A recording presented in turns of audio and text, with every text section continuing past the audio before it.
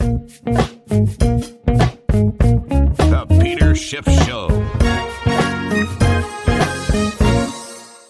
I'd like to introduce and thank two brand new sponsors to the Peter Schiff Show podcast. Shopify is a platform designed for anyone to sell anything, anywhere, giving entrepreneurs like myself the resources once reserved for big businesses. For a free 14 day trial and full access to Shopify's entire suite of features, go to shopify.com slash gold.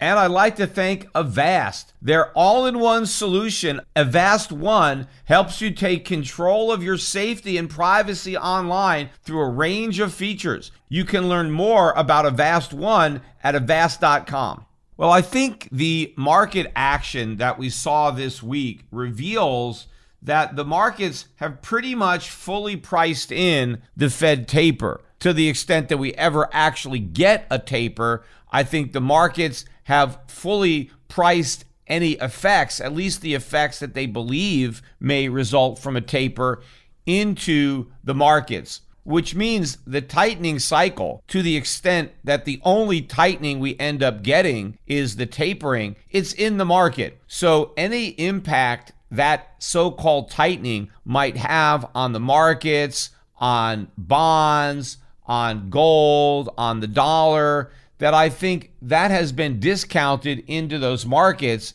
And so, in other words, when the Fed finally begins to taper, it will not affect the markets in the way people think because those expectations have already been priced into those markets. In other words, if we actually get a taper, it is more likely to be a buy the rumor, sell the fact. And so, what has been the anticipation in the markets? Well, a taper is going to help the dollar because it's tighter monetary policy. Well, that's already happened then. Any benefit that the dollar would expect to gain from the taper, it's already achieved that benefit. And so when we finally get the taper, the dollar is more likely to go down rather than go up. Opposite with gold. Everybody expected the Fed tightening to be bearish for gold. And as a result, they got out in front of that and sold gold. So by the time the Fed gets around to tapering, gold is going to go up. Again, buy the rumor, sell the fact. And I think a lot of this is pretty obvious from the way the markets reacted to the press conference that we had on Wednesday. It was the topic of my last podcast, but that was the most hawkish press conference I've ever heard Powell deliver. Now, again, it's all relative, right? So it wasn't really the most hawkish, it was the least dovish. But in a world where there are no hawks, being less dovish is what now qualifies you as being hawkish. But if you accept on face value what Powell was saying, and of course, I went through how there were so many inconsistencies in his comments that you really can't accept them on face value because, on the face of it, he's basically telling lies. But if you believe the lies, what did Powell say? Powell said that the taper is probably going to start the end of this year, but then it's probably going to finish by the middle of next year. So that's basically about a six months time span where the Fed is going to go from doing $120 billion of purchases of bonds and mortgages per month to zero.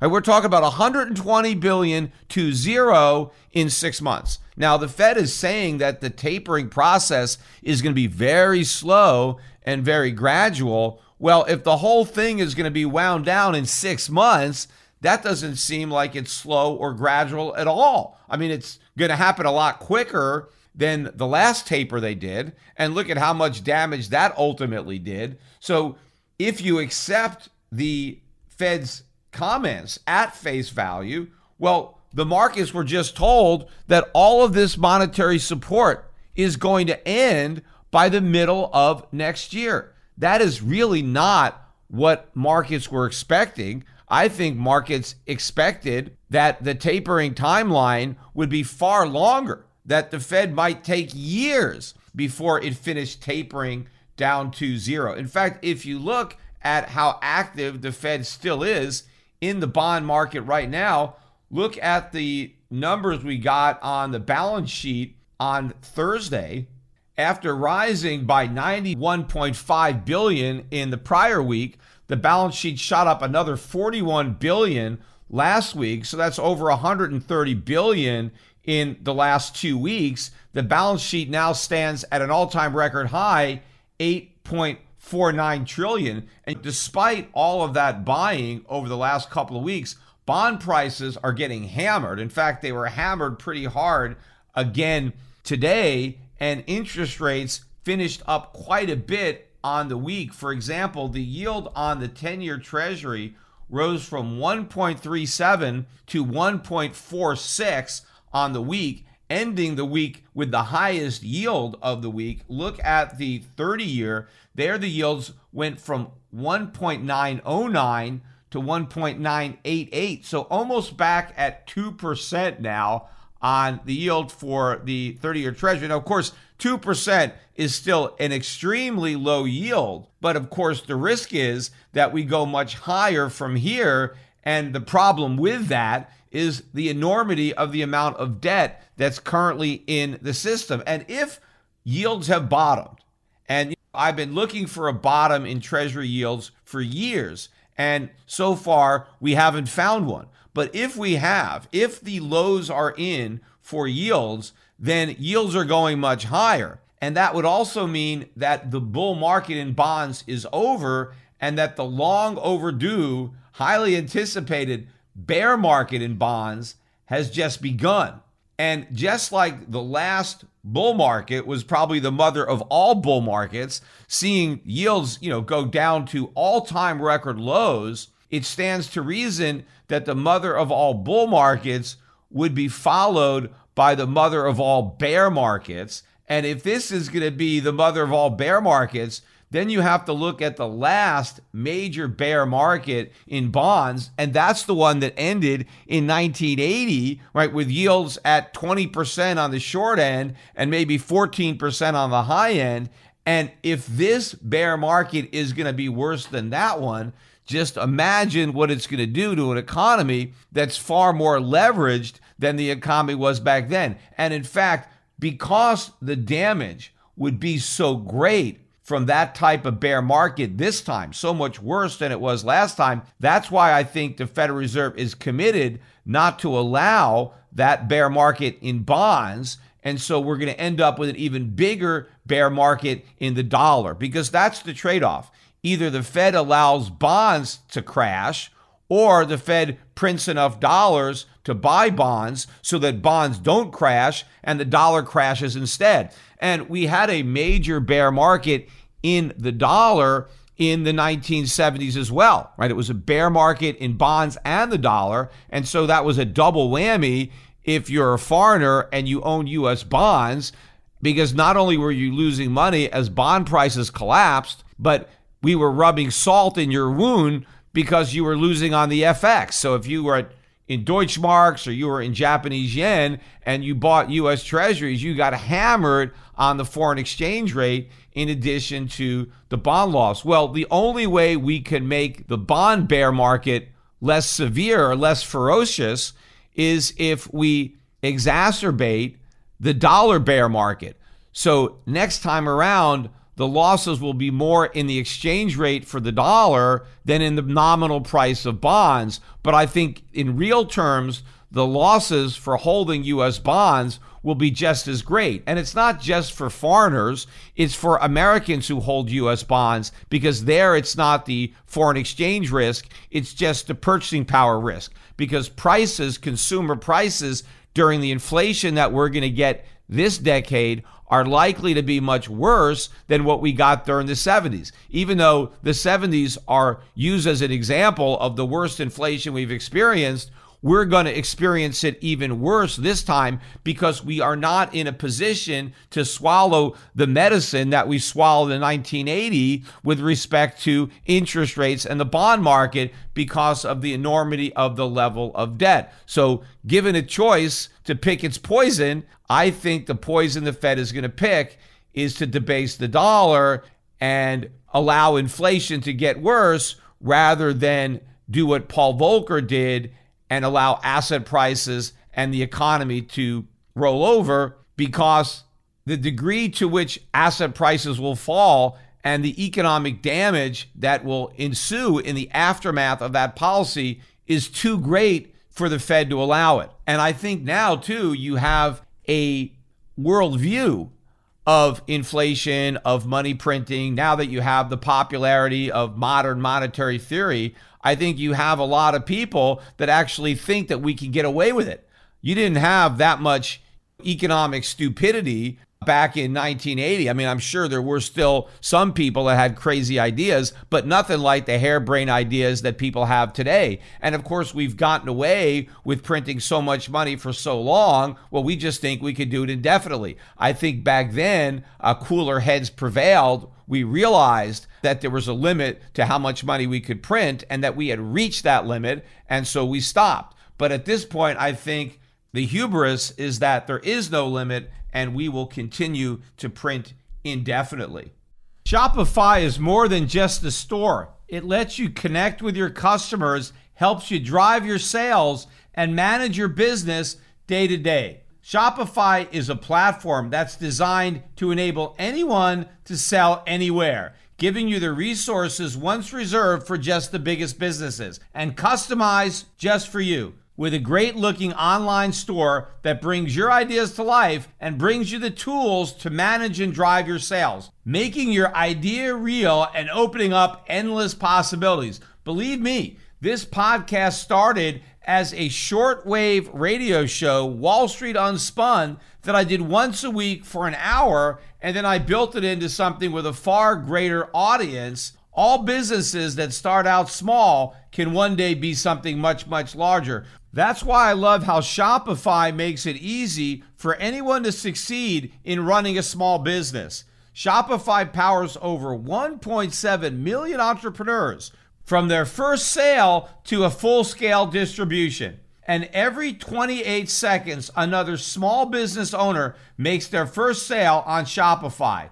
Get started by building and customizing your online store now with no coding or design experience required. You can access powerful tools to help you find customers, drive sales, and manage your business day to day. Gain the knowledge and confidence you need with the resources that will help you succeed. Plus, with 24 7 support, you're never alone. More than just the store, Shopify grows with you. This is the possibility, and it's powered by Shopify. So go to shopify.com slash gold, all lowercase, for a free 14 day trial and to get full access to Shopify's entire suite of features. So start selling on Shopify today. Go to shopify.com slash gold right now. In fact, one of the ways that you can see this hubris really manifest itself is regarding the renewed calls for the U.S. government to sidestep the debt ceiling debate by just minting a trillion dollar platinum coin and just depositing that trillion dollar platinum coin at the Federal Reserve in exchange for $1 trillion. And now the US government has 1 trillion Federal Reserve notes that it can now spend and it doesn't have to worry about the debt because it's not borrowing any money. It's just minting it. And now it has all this cash. And they talked about that when Obama was president. I don't remember if they talked about it during the Trump years because we didn't really have the debt showdown during the Trump years. Because when Trump was president, the Republicans didn't care about the debt, right? There was no political farce over we're not going to raise the debt ceiling. It only happens when the Republicans are out of power and then they can get on this high horse and pretend they actually care about deficits and runaway government spending. So I think it was when Obama was president that this idea of a trillion dollar coin became popular. And now, of course, because Republicans are grandstanding again about the debt and they don't want to vote to raise the debt ceiling, you now have this specter of this platinum coin. Of course, the Democrats are playing a game of political theater as well, because as the Republicans correctly point out, the Democrats have the votes to raise the debt ceiling. And the Republicans are saying, we're not going to get in your way. There are no Senate Republicans threatening to filibuster a effort to raise the debt ceiling. Remember, when I was running for United States Senate back in 2010, that was the cornerstone of my campaign. I wanted to be the U.S. Senator to lead the filibuster against raising the debt ceiling because I wanted the government to stop going into debt. I wanted the government to stop spending. And the only way to force the government to stop spending was to draw a line in the sand on borrowing, saying, look, you can't borrow any more money. So if you want to keep spending, you better raise taxes. And if you don't want to raise taxes, then you got to cut spending. And that's what I wanted to do in Washington. But none of the Republican senators who claim they will not vote to raise the debt ceiling are threatening to filibuster if the Democrats try to raise the debt ceiling. They're basically saying, vote to raise the debt ceiling, and we're not going to do anything about it. So the Democrats have the votes. So why are they talking about? how there's this huge threat out there from not raising the debt ceiling when they can raise it whenever they want just by voting to do it. Obviously, they don't want to be the only ones responsible for the vote. They want to force the Republicans to take some responsibility for all the deficit spending by getting them on record as supporting it too. But the Republicans, they are playing the game by saying, look, you want to spend all this money, then you raise the deficits. But of course, when they were in charge and they wanted to spend a bunch of money, they had no problem raising those deficits. But I want to get back to the point of this trillion dollar platinum coin to explain the absurdity of what they're talking about and how people don't even really understand the monetary principles that supposedly underlie our economy and the Federal Reserve itself. Because, first of all, if the US government were to actually mint a trillion dollar platinum coin and then start spending the money, the myth, and it really is a myth, that we have some type of monetary discipline and therefore some kind of fiscal discipline would completely go out the window, right? The idea is we have an independent central bank, so the government has to be fiscally responsible. They just can't print a bunch of money and spend it. They have no power to print money. Only the Federal Reserve can print money, but the Federal Reserve can only print money to the extent that it has assets to back it up. Remember, Federal Reserve notes are notes, they are liabilities. They are one half of the Fed's balance sheet. So, what is the other half? The assets. Well, what are the assets of the Federal Reserve? Well, predominantly, their obligations of the U.S. government, their U.S. Treasury bonds, or now mortgage backed securities, or actually, who knows what the hell they got there now. They've got corporate debt, municipal debt. They own a lot of stuff that they're not supposed to own. And remember, I've talked about that on this podcast, but originally the Federal Reserve wasn't even supposed to own U.S. Treasuries. They had to amend the act to finance the First World War, but it still has assets to offset its liabilities. And so when the Fed conducts monetary policy, let's say the Fed wants to fight inflation. How does it do that? Well, inflation is when it expands the money supply.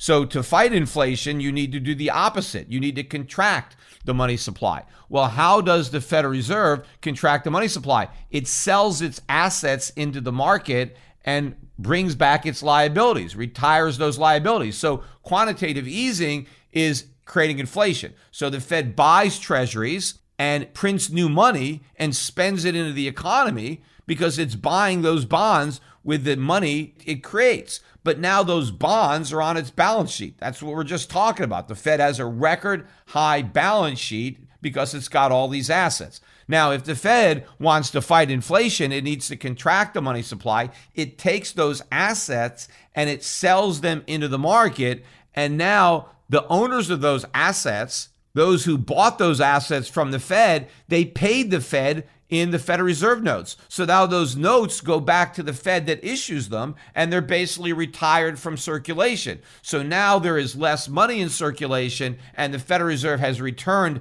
the assets that it took out of circulation back into circulation. Now, of course, when the Fed starts to sell off its treasury bonds that it bought at record low yields, it's going to take a loss right? Because the market is not going to pay the Fed what the Fed paid the market. And therein lies a big problem because the Federal Reserve, the minute it really has to start shrinking its balance sheet, it is going to suffer a huge loss because it's not going to get back as many Federal Reserve notes as it put in. And by the way, the US Treasury is on the hook for those losses. any money the Federal Reserve loses through open market operations, the US government has to reimburse the Fed. That's the law, which means the US taxpayer is on the hook. See, that's the opposite of what's been happening. The Federal Reserve has been making money through its open market operations as it's been buying bonds and pushing the price up. And the Federal Reserve has basically been presenting the US Treasury with a check. Here are your share of our profits because the Federal Reserve by law is not allowed to keep those profits. It has, I think, a 5% return on equity that is allowed and anything above that is paid 100% to the US government. So they're in the 100% tax bracket, which is one of the reasons that the Federal Reserve is highly inefficient, right? Because they have no incentive to have a profit of greater than 5% because all the money goes to the US Treasury. So that's why they have such a beautiful, expensive building. I think probably the most expensive building in DC when it was built was because they were in a 100% tax bracket. So if they weren't going to spend it on a beautiful building, they were just going to send it to the US Treasury. But when they start losing money on their open market operations, they don't present the US Treasury with a check, they present it with a bill. And now the US government has to finance that. It's now adding to the deficit. And obviously, it's the taxpayer who is presumably on the hook to bail out the Fed when it has these losses. But moving to the idea of the platinum coin.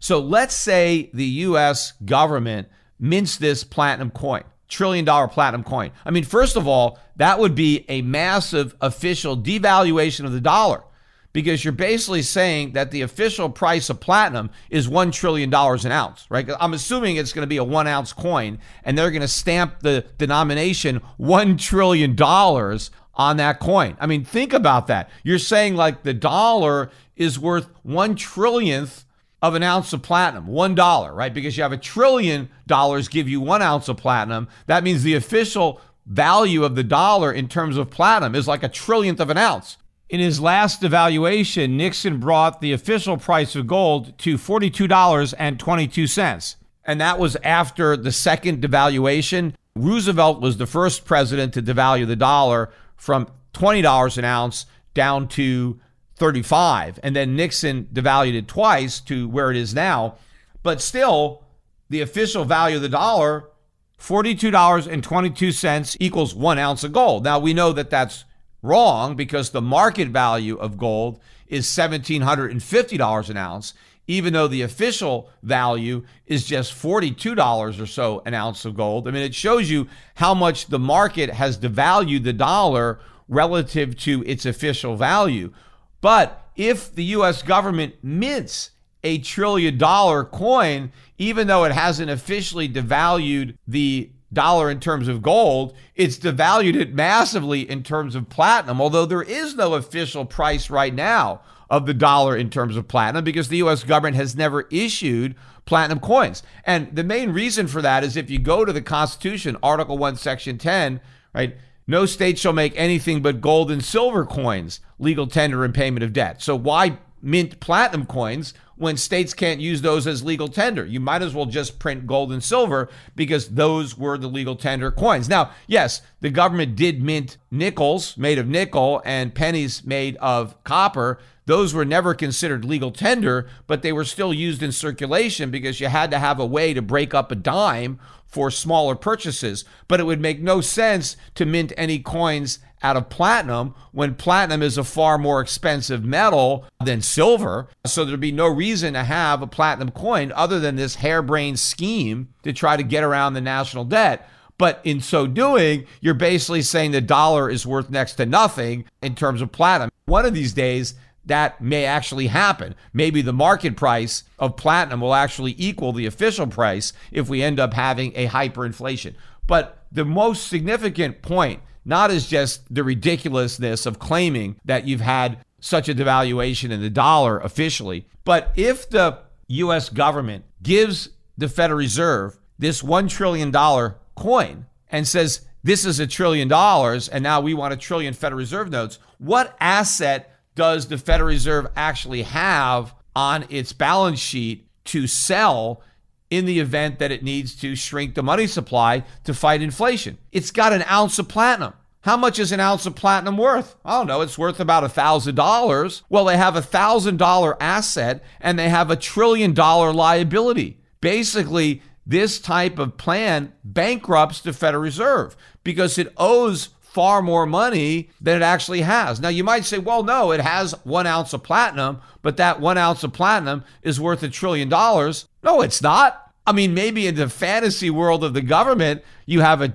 one ounce of platinum that's worth a trillion dollars. But in the real world, no one is going to pay you a trillion dollars for an ounce of platinum when you can buy an ounce of platinum for a thousand dollars. I mean, the price of gold is real. There is a real market for gold. Jewelers are going to buy gold from the government at $1,750 an ounce computer chip manufacturers are going to buy gold from the government at $1,750 an ounce because they need the gold. No idiot is going to buy an ounce of platinum from the U.S. government for a trillion dollars. There's plenty of platinum out there that you could buy for a lot less money. Now, that you could say, well, it's still a trillion dollars of legal tender, which is true. So if somebody has that trillion dollar coin, I suppose it's the same thing as having a trillion one dollar bills, right? But that's not the type of asset that the Fed can use to take money out of circulation. If the Fed is going to buy a trillion dollars worth of paper with a trillion dollar coin, it hasn't shrunk the money supply at all. It's just taking paper money out of circulation and put this platinum equivalent of money into circulation, but there's been no net drain of liquidity. And so the minute we go down this road, we officially make the United States a banana republic because we say the US government can just issue money, can mint as many platinum coins as it wants and claim they're worth whatever it wants and then spend whatever it wants. And then the Federal Reserve has zero ability to ever undo what is being done. They can expand the money supply, but they can never contract the money supply. And so then the Fed is officially an engine for perpetual inflation. Now, unofficially, that's what it's been the entire time. But if the Fed were to do this platinum coin maneuver, then we would drop all pretense. Now, of course, I don't think that's going to happen because they are going to raise the national debt. So they're not going to have to jeopardize what's left of the supposed independence of the Fed. I think they realize that they can't let that cat out of the bag. But again, when people talk about it as if this is some panacea or as if this can even work, it just shows you how little the mainstream or even a lot of people in government even understand the monetary system of the United States or the Federal Reserve. Avast has been a global leader in cybersecurity for more than 30 years and it's trusted by over 435 million users. Avast's new all in one solution, Avast One, helps you take control of your safety and privacy online through a range of features. And you can learn more about Avast One by going to avast.com. Avast offers an award winning antivirus that stops viruses and malware from harming your devices also protects you against data breaches, enabling you to find out if your online accounts have been compromised and whether your passwords need to be changed. They have firewall protection, keeping your personal information secure and preventing attacks that seek to access your computer and steal your data. They'll even protect you from ransomware and secure your personal photos and documents and other files from being modified, deleted, or encrypted by ransomware attacks. In fact, it'll even speed up your computer by optimizing the background activity in your apps. Its Smart Scan feature finds and removes viruses and resolves the most common privacy and performance issues through its optimization scan. Avast prevents over 1.5 billion attacks every month and with Avast One, you can confidently take control of your online world without worrying about viruses, phishing attacks, ransomware, hacking attempts, or other cyber crimes. You can learn more about what Avast One can do for you by going to avast.com. I want to swing back though and talk about what the markets actually did on the week because pretty much all of the stock market indexes, save the NASDAQ, ended the week positive again, despite the big drop that we had on Monday regarding all the Evergrande fears and the potential contagion that would spill out of China over to the rest of the world, and again, the least dovish FOMC press conference breaking a string of every conference basically being more dovish than the conference that preceded it, we finally had a conference that was actually less dovish, and the market shrugged that off too. Again, just the Nasdaq was down, and it was only down a little bit. I mean, there was a lot of selling in tech this week to drive that down, but S&P, Dow, even Russell 2000 managed to finish the week with gains. In fact, the markets even shrugged off generally weaker than expected economic data. Look at all the data points that came out on Thursday following my Wednesday podcast. Probably the least bad was the Chicago Fed's National Activity Index because even though that one came in well below estimates, the consensus was 0.5, we got 0.29. There was an upward revision to the prior month that was originally reported as 0.53 was revised upward to 0.75, but the rest of the news was pretty much bad across the board. Look at the jobless claims. They were expecting just 309,000 claims, and that would have followed 332,000 claims for the prior week. Instead, they revised that up to 355,000, but the current week came in at 351,000 jobs way above the consensus. In fact, the high end of the range was 311,000 job losses. We came in with 351,000. That is a big beat over what the markets had been expecting. So, weaker jobs. Look at the PMI composite index, the flash index. It was supposed to be 55.5. It came in a full point below that, 54.5. Manufacturing, 60.5 instead of 60.8. And the service index, that was only 54.4 versus an expected 55.1. So across the board, weaker Kansas City Fed manufacturing index. They were looking for 29. In fact, the range of expectations was from 25 to 31. We got 22, well below the low end of estimates. So again, we're getting weaker economic data as price pressures continue to mount, more and more companies are announcing substantial price increases, all the while the Fed is pretending that these price increases are restricted to a small segment of the economy, even though they're widespread and affecting the entire economy. So, more and more pressure on prices to go up as the economy continues to slow. Stagflation is obviously what's going on. Now, gold did not finish the week positive, but it was barely down. I mean, the price of gold only fell by a few dollars, even though we had this Fed threatening to completely end quantitative easing by the middle of next year. You only saw a few dollars sell off in the price of gold. Same thing with the dollar. The US dollar barely moved higher on the week and that is not something that one would expect given the comments from the Fed, unless, of course, the market has already fully priced those comments in, which is my thought process and what I expressed earlier in the podcast. The one market, though, that I think really should be surprising and worrisome to people was the oil market. We had a very strong week in oil, despite a lot of weaker than expected economic data that I'm going to get into. Oil prices closed up on the week $73.61 per barrel on the week. I think this is probably the highest weekly close I remember for oil, I think, of the entire move. We're not on the high print because we did get almost to 77, but I don't think we closed the week that high. This could be the highest close. The chart looks very, very strong, even with all of the turmoil, even with the worries coming out of China and the big sell off there, oil prices are going up.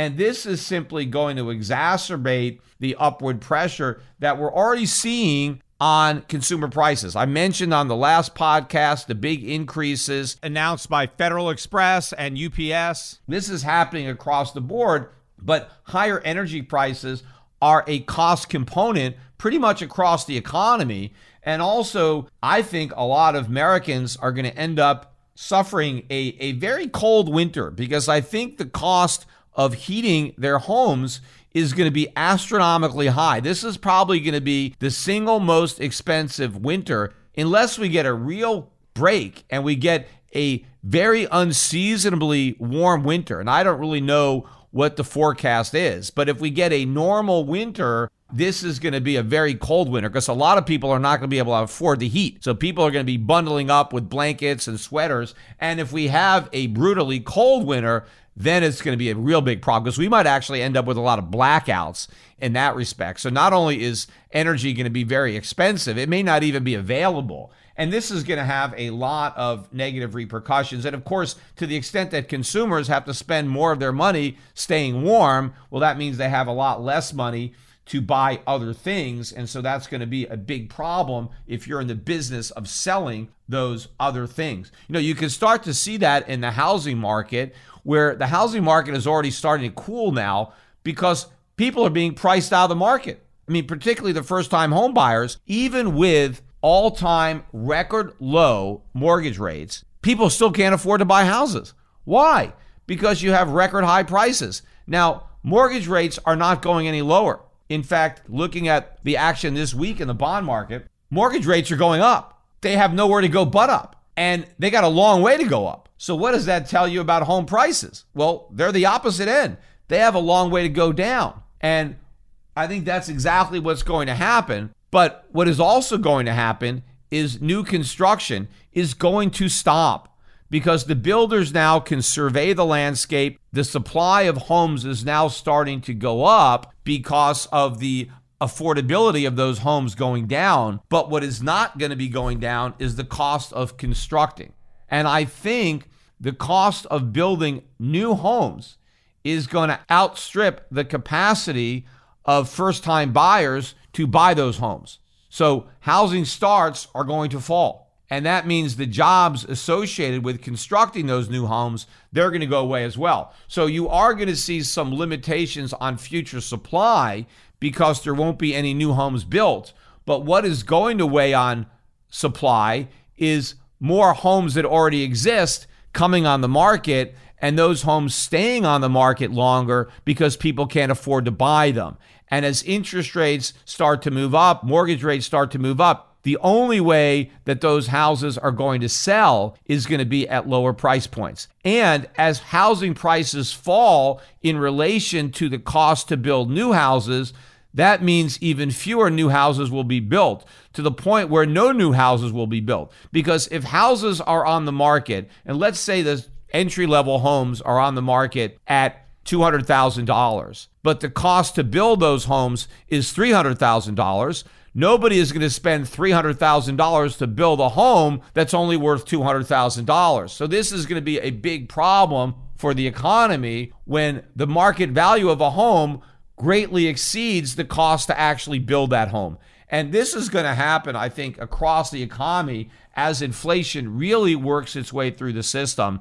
New stuff is not going to be available because it's going to be too expensive to produce. But the stuff that's already produced may be coming down in price because people can't afford it and it's the only way to clear the market. I think where you're really going to see this dichotomy is going to be the differential in goods prices versus service prices. And you're really going to see this when the dollar starts to fall and fall in a big, big way. Because what we've seen over the last couple of decades, and even a lot of economists have pointed this out, what are the reasons that the overall inflation rate, as measured by consumer prices, has been in check is because falling goods prices have offset increasing service sector prices because we've been able to import a lot of products from other countries at lower prices. We've been able to reduce the cost of manufacturing by relying on imports for those manufactured products, and that's kept the lid on prices.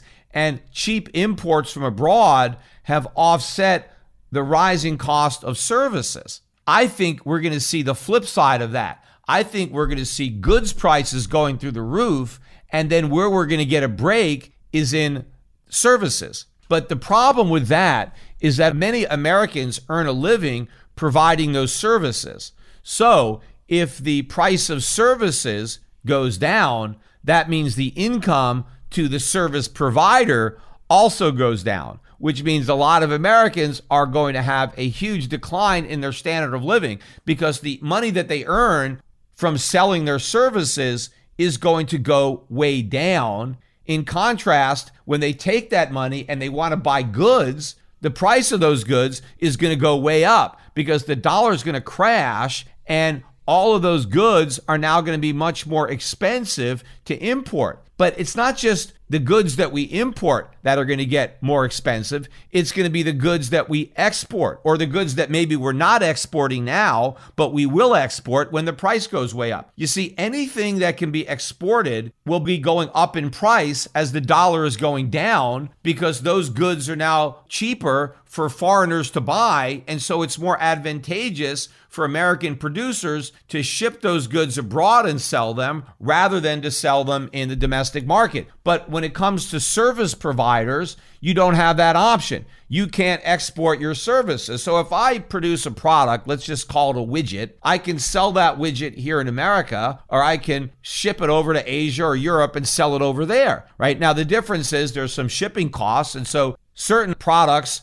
I'd rather sell here locally because there's less cost to transport. But if there's a big difference between what foreigners can afford to pay and what Americans can afford to pay, then it may be worth the added cost of shipping to get into a more lucrative market. So you always have that ability to export what you produce if it's a good. You don't always have that ability with services. Now, there are certain services that you can export. And in fact, the United States has a surplus in services because we have certain, let's say, IT services or things that Americans can do, services that they can perform for overseas buyers. And the price of those services will go up. But there are a lot of services, particularly services provided by lower income people, that can't be exported.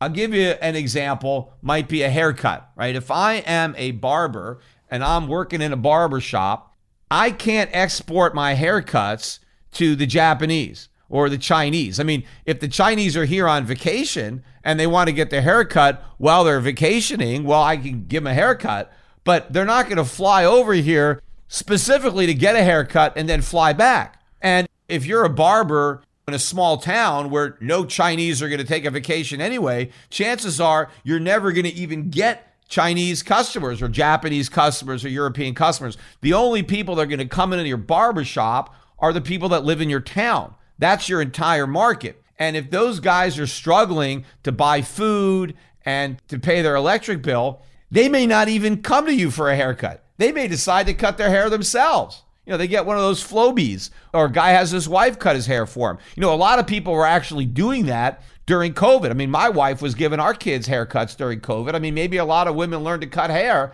and they don't need to go to a barber. But the point is, if you are a barber, you can only charge what the market will bear. And if your only potential customers are a bunch of broke Americans who are spending everything on food and energy and the cost of everything is going up, the only way you can get them to show up at your salon or your barbershop is to cut your prices. And that's going to be very problematic for the barber who's now making a lot less money cutting hair in real terms. But now everything that barber wants to buy is a lot more expensive. And you know, you can see this dichotomy. I've experienced it myself uh, when I was a kid. I remember when I was backpacking around Europe in my 20s, and I would go to some of these poorer countries and go and get a haircut in a poor country, and haircuts were very, very cheap. I mean, maybe I was paying back then 20 bucks to get a haircut in the States and I get one in Hungary for a dollar, two dollars, whatever it was. I mean, it was very, very cheap. And that's because the dollar was very strong against the forint. And in real terms, I mean, services were very inexpensive. But, you know, if I looked in the window of an electronics store and there was a Sony TV there, the prices were relatively the same as what I would have paid back home because there you're talking about goods and the goods prices, the people in Hungary who wanted to buy a Sony TV, they had to compete with the people in America who wanted to buy the same TV. So the prices were relatively the same, maybe a little bit lower if the store had lower rent or stuff like that. But in general, the prices were about the same. But that barber in Budapest, his only customers are the Hungarians. He can't cut hair for people in New York, so he can only charge what that local market will bear. And so if you happen to be a tourist coming in to Hungary, you get a really good deal on a haircut. And one of the things I had been saying at some of my seminars for a long time, and obviously I've been saying it prematurely, but I think one of these days, Americans are not going to have to travel to poor countries to get good deals on services. They'll just be able to stay home. They'll be living in a poor country. It's the foreigners who are going to come here and get great deals on American services. But what that means is if you have the foresight now to get your money out of US dollars and into real assets, into gold and silver, into foreign stocks, into foreign currencies, then you'll be like a rich tourist in your own country because you're going to have the same purchasing power as the rich tourists because you would have already divested yourself of the local currency and you will have your purchasing power based on the same types of assets that they do. Getting back to the markets, though, as I mentioned, gold was barely down on the week, but gold stocks got hammered. Look at the GDX and the GDXJ. Both of these indexes are at or hit 52 week lows on the week, and they closed out the week down. I mean, why are gold stocks continuing to go down even though the price of gold isn't going down at all? Again, I think that this market in particular, the psychology of this market is the bearish I've ever seen. I mean, there are no more bulls left really in this market. I mean, people are writing the obituaries for gold and therefore they are reflecting that negative sentiment in the mining stocks. Because again, the mining stocks are forward looking. It's not about what the price of gold is today, it's about what people buying gold stocks expect the price of gold to be in the future. And everybody expects the price of gold to go down, even though it's not going down. Again, one of the reasons everybody expects the price of gold to go down is because the Fed's going to taper. Well, even if they taper, and they may not, as I said earlier, it's already priced into the market. So, what's likely to happen if and when the Fed ever starts to taper is the price of gold is going to go up. But the gold stock investors haven't figured that out yet, and they're still selling gold stocks based on an anticipated drop in the price of gold, that is not going to happen. In fact, the drop has already happened. The reason the price of gold is 1750 an ounce and not much higher is because it's already priced in the taper. In fact, I think it's already priced in rate hikes, which of course are never going to happen. So once the market has to price out the stuff it never should have priced in, then gold is going to go way up. But, you know, another thing that continues to weigh on the sentiment for gold is Bitcoin. I mean, people are like, well, I mean, what's the point of owning gold? Gold is worthless now that we have Bitcoin because Bitcoin is a better replacement for gold. And of course, that's nonsense because Bitcoin doesn't replace gold in any of the uses that gold has. Now, I mentioned on the last podcast because a lot of people keep trying to tell me that gold's actual value isn't 1750, that maybe the value of gold is $200 an ounce or some nonsense like that. And they'll say the only reason it's worth 1750 is this premium that it gets by being money. And it's that premium that gold is going to take right? So gold is somehow going to collapse down to a couple hundred dollars an ounce or whatever people think it's worth as a metal. And all of that extra value is going to move into bitcoin and bitcoin's market cap. And i mentioned that one of the reasons that gold is so much more valuable than your typical commodity is that it lasts forever. That the gold I have today isn't going to rot, isn't going to decay, isn't going to deteriorate because it's going to be here forever. I mean, your gold is going to outlive you and it's going to outlive your children and outlive their children. There is extra value priced into gold today to reflect the fact that it's going to have value in the future. But it's not just that the gold has value, it's that gold can be reused an infinite number of times. That is what is so different between gold and all these other commodities. Because once you use another commodity, it's gone, right? If I buy a barrel of oil and then that oil is used to generate electricity, you can't use it again. If I have a bushel of wheat and I make bread with it and I eat it, the wheat's gone. I can't use it again. It's gone forever. I mean, you have to go out and grow and get some new wheat, but I can't use it again. And if I hold on to it long enough, it's going to rot and it'll never be able to be used. So I either have to use it, it's got a shelf life, and I either use it or lose it. But when it comes to gold, you can use it and use it and use it again. It doesn't matter. If I take my gold and I make a bracelet out of it, that doesn't mean I'm stuck with that bracelet forever. I can wear that bracelet for a few years. I can melt down the gold and I can make something else with it. I can melt it down and I can use it in electronics. You know, if you find some computer chip, you can melt it down and you can get the gold out of that chip and you could use it again. You know, people used to dig up graves because they wanted to get the gold fillings out of people's teeth. Why? Because they could use the gold again. It doesn't matter that they used it to fill teeth. You melt it down and it's the same gold. You get your gold back again. You can use it and use it and use it again, and it's as good each time you use it. It doesn't lose any of its properties. So even if gold has been sitting in some guy's molar for 100 years, buried under the ground, you dig that corpse up, you get that gold out of his teeth, and it's brand new. It's as good as the day it was put in that guy's teeth, and now you can use it to make jewelry or whatever you want. So that is the other special property that gold has, and that's why it commands a much higher price, much more than people might think when you're just looking at what its value is right now and forgetting that price encapsulates all of the future value into today's price. And gold has much more future value than other commodities. And speaking of Bitcoin, you know, Bitcoin had a wild ride this week. But again, this was another week that should prove to anybody that Bitcoin is not digital gold. Because I think every day gold was up this week, Bitcoin was down.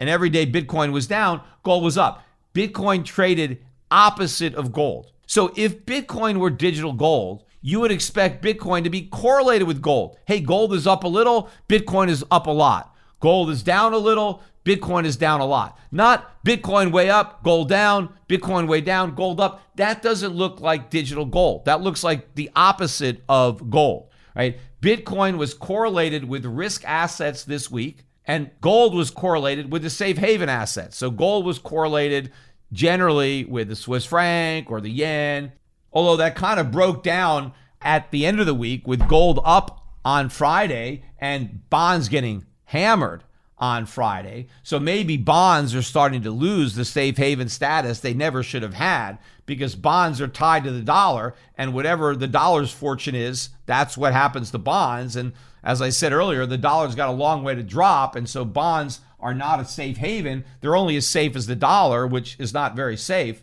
But Bitcoin was trading with the risk assets. The only exception was Friday. Bitcoin got hammered on Friday. Even as other risk assets went up, Bitcoin got clobbered. And the catalyst for the Friday carnage was news out of China. I mean, China has been cracking down on Bitcoin, and now they've cracked down the hardest. They have now made all transactions, private transactions in cryptocurrency, is illegal. So it is illegal for anybody in China to affect any transaction. You can't buy Bitcoin, you can't sell Bitcoin, you can't exchange Bitcoin, you can't do anything. Anything you do with Bitcoin is illegal. Now, the Chinese government, to my knowledge, they haven't actually come out with what the punishment is for being caught doing an illegal crypto transaction. So I'm sure they are going to have to announce what it is. I mean, what is the fine? Can you go to jail? And obviously, the harsher the penalty, the more likely it is that people will obey the law, right? If there's no penalty, well, then no one's going to obey the law, right? There's got to be a penalty. But given the fact that this is a communist country, right, they can make the penalty whatever they want. If the Chinese government really wants to outlaw Bitcoin, I think it's going to be a very harsh penalty. I mean, there could be a lot of jail time if you get caught with Bitcoin. I'm not sure what the Chinese jails are like, but I'm sure they're all not that great. I don't think people want to spend a lot of time in a Chinese prison. And so it's probably not worth it. If they make it illegal, I mean, sometimes, look, if it's illegal to own a gun, but the gun might save your life, there are going to be people that are going to say, you know, screw it. I'm going to own a gun anyway, even if it's illegal, because if I need it to save my life, it's worth the risk. But you don't need Bitcoin for anything. I don't think people are going to be willing to break the law. Now, criminals, if you're already engaged in a criminal activity, well, let's say you're a drug smuggler, you're a terrorist, you're doing something that's illegal. All right, screw it. I'm going to have Bitcoin because maybe it helps me with crimes, or maybe not Bitcoin, maybe Cardano or some other crypto, because you're already a criminal. I mean, on the gun control, there are a lot of people who would like to have guns, but they don't buy them even though they like them because they don't want to break the law. There are some people who are willing to break the law because they feel that strongly, but a lot of Americans who might otherwise buy guns don't buy them because they are law abiding citizens and they're like, well, I mean, I'd like to have a gun, but you know, it's not legal, so I'm not going to buy one. But there is one group of people who couldn't care less about the gun laws, and those are the criminals. What does a criminal care? He's already breaking the law. He's already risking go to jail, right? You're committing robbery, you're committing all sorts of crimes. You don't give a damn about the law. What difference do the gun laws make? That is the problem. When you have gun control, it's the criminals that have all the guns because the law abiding people don't have the guns, and the criminals know that their victims are defenseless because the victims are the ones that obey the laws, and the criminals couldn't care less because they're already committing crimes and they're already assuming the risk of going to prison. So, what difference does the additional risk of having a gun? But if you're not violating any law because you don't want to go to prison at all, then you're not going to take a chance of owning a gun. And the same thing is going to happen with cryptos. All of the law abiding, honest citizens that really don't need cryptocurrency, they're not going to risk going to jail to have it. But if they're already committing crimes and they're already risking jail, then what difference does having a crypto make? And so it'll just be the criminals that'll be owning Bitcoin in the black market in China. Now, the Bitcoin community, they're laughing this off. They're like, oh, who cares what happens in China? You know, they make a big deal about what's happening in El Salvador. El Salvador is insignificant. You know, if China is the elephant, El Salvador isn't even the gnat on the elephant's butt. It's like the amoeba on the butt of the gnat. China is going to be the largest economy in the world, biggest GDP. It is a enormous rich country and that market is being totally shut out of Bitcoin and other cryptocurrencies. So to make a big deal about the fact that little tiny El Salvador is making Bitcoin legal tender and ignore what is happening in China where it's been outlawed basically contraband. Shows you how ridiculous the whole thing is and how this is all just a bunch of hype. And the Bitcoin community was making a big deal about the fact that Bitcoin didn't crash on the Chinese news. Yeah, it was down like 6 or 7%. We're still holding 40,000. We're 42, 43,000, something like that. But, you know, the market is looking awfully toppy and this is major bad news. It was already bad before, but it is getting worse as China cracks down even harder on the industry. And a lot of people are also saying, oh, that's just China, right? That's not going to happen in other countries because China is a communist country and free countries like America or other European countries, they would never do that. Oh, yeah? sure, they would. And it's not hard for them to do it. Look, guns are illegal, drugs are illegal, heroin is illegal, cocaine is illegal. I mean, the US government made those things illegal, so they can make whatever they want illegal. And yes, people still do things that are illegal and they risk going to prison, but a lot of people don't do things that are illegal. The number of people willing to do things that are illegal is much smaller than the number of people who are willing to do things that are legal. The US government can every much as easily as China, it can make laws. Remember, we made it illegal to own gold.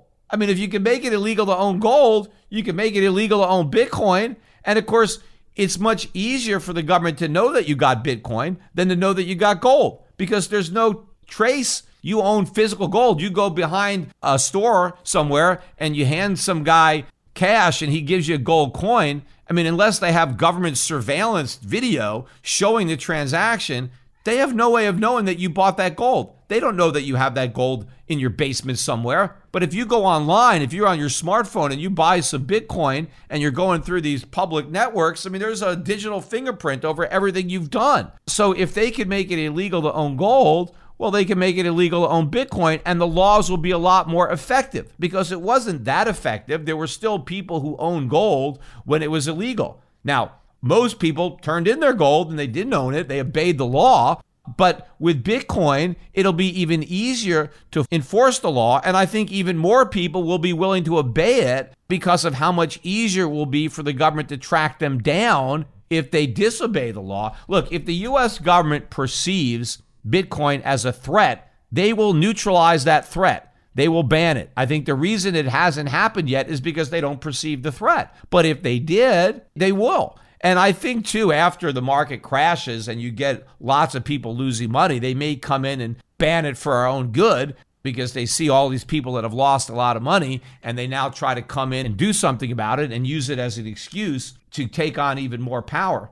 In fact, the federal government can simply look at Bitcoin trading as gambling, which in effect is what it is. It's not really investing, it's gambling. And there are lots of laws all over this country that make all sorts of gambling illegal. So the government can simply say, we don't want our citizens gambling. And for their own good, we're going to make it illegal to transact in Bitcoin. Now, I know what a lot of you Bitcoiners are thinking. All investing is gambling, so why pick on Bitcoin? Well, it's not. When you buy a stock that pays a dividend because it's a company that has earnings, you are making an investment. And there's a big difference between investing and gambling. Now, I know there is a speculative component to an investment in that you're thinking that the price of the stock may go up, and that may be one of the reasons that you're buying it. But underlying that speculation at its core is the investment because even if the price doesn't go up, you can generate a return simply by collecting your dividend. So you don't need the stock to appreciate. The appreciation would be the icing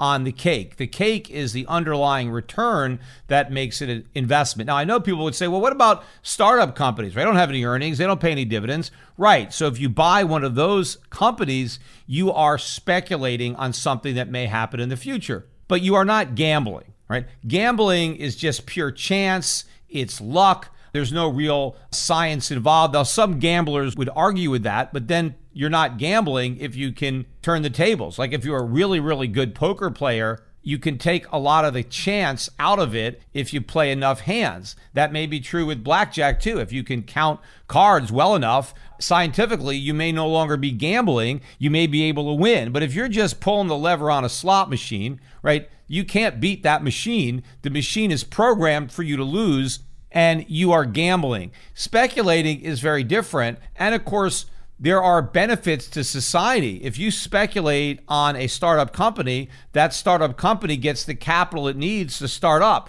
to make the investments, to hire workers, to innovate, to do all sorts of things that could benefit society. Now, if you want to look at something that's purely a speculation, you know, think about a wheat speculator. What if somebody thinks the price of wheat's going to go up and so he's going to buy wheat? You could say, well, that's the same thing as me or somebody thinking that Bitcoin is going to go up, and so I'm going to buy Bitcoin. And so they're both speculations. Well, the person who is buying the wheat may have some real reasoning behind his speculation. It might not necessarily turn out, but maybe he's done his research into weather patterns or harvests, and he believes, based on that research, that in the future there is going to be a shortage of wheat. And so he wants to profit on that future wheat shortage by buying up some wheat now, storing it, and then selling it in the future at a higher price when it's in short supply. Now, let's say the speculator is correct and his wheat ends up being much more valuable in the future because there's a wheat shortage. Well, not only does the speculator make money, but society benefits from that shrewd speculation because now there's some wheat coming into the market at a time where wheat is scarce and people need wheat. And so now you've got the wheat to sell, you're paid for your prudence in setting it aside and speculating correctly but society benefits because they get the wheat. And in fact, you help to keep the price of wheat lower than it otherwise would have been had you not set some aside to be able to sell it in the future when there's a shortage. Alternatively, if you're just guessing that the price of Bitcoin is going to go up, you just think it's going to go up, not because people need more Bitcoin, but because they want more Bitcoin. And why would they want more Bitcoin? Because they think other people are going to want more Bitcoin. It's really just gambling. You're guessing, and it is a zero sum game. There is no benefit to society from anybody buying your Bitcoin from you. It's just a greater fool hoping to sell to an even greater fool. So it's very easy for the government to claim Bitcoin is gambling and just outlaw it for the same reason that other forms of gambling have been outlawed. Now, I'm not in favor of that. I would be totally opposed to the government making it illegal to gamble on Bitcoin, just the way I think all gambling should be legal. I don't think it's any of any government's business what I do with my money once I've earned it. And if I want to gamble it away, well, that's my prerogative. It's a free country and I can do what I want with the money that I earn. And that would include gambling on Bitcoin. And I'm not saying there's no benefit to gambling as a form of entertainment. Because if people are excited and entertained by gambling and in the process they lose money, but they have a good time losing it, there's nothing wrong with that. Just like people have a good time doing other things that cost money. So the experience of gambling is exciting and valuable, yet that doesn't prevent governments from outlawing it because somehow they claim that that activity is harmful to society and they want to ban it. Well, they can make the exact same argument with Bitcoin. They can say it's harmful to society. It is not the type of gambling that we want to encourage, and they ban it. Of course, what's so hypocritical about a lot of these states that ban gambling is that they run lottery programs. And the lotteries are basically the worst way to gamble because you've got the lowest odds of actually winning. You know, whenever you go to private sector gambling, like a casino, the vigorish that the casino operators take is very, very small. So your expected losses are also small. You have a much better chance of winning in an honest private casino than you do when you buy a lottery. I mean, the government likes to outlaw competition, saying, hey, the only way you can gamble is at our casino by buying these lottery tickets, and then they make the odds of winning astronomically low. I mean, if there were private sector lotteries competing with government lotteries, the government lotteries would go out of business because no one would be dumb enough to buy a government lottery ticket when you can get much better odds buying a private lottery ticket in a competitive free market. But I think instead of being very complacent about the fact that in the face of all this bad news, Bitcoin has held the 40,000 level, I think they should be more concerned about the fact that it hasn't been able to get back above the 50,000 level and that we're more likely putting in a top in Bitcoin than a bottom.